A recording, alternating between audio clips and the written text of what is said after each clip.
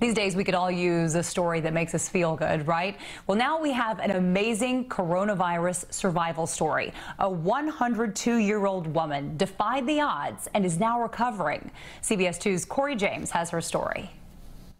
At 102 years old, Sophia Avouris has seen a lot in her life entering this world in 1918 at the start of the Spanish flu. She survived it, uh, thank goodness. Her daughter Effie Shahidi says back in March, doctors at a Manhattan nursing home and rehab center called to tell her the Yonkers woman recovering at the facility from hip surgery tested positive for COVID 19. And we were thinking at 102 years old, uh, at high risk, that she may not make it. Because the facility was on lockdown, Shahidis called her mom to have a conversation she thought would be the last. Once or twice, I managed to uh, let her know that how much I loved her and she told me how much she loves me. According to the CDC, 8 out of 10 deaths reported in the U.S. have been adults who are 65 and older. Dr. Tamer Mirza oversaw Avouris's care and says her prognosis initially was not good.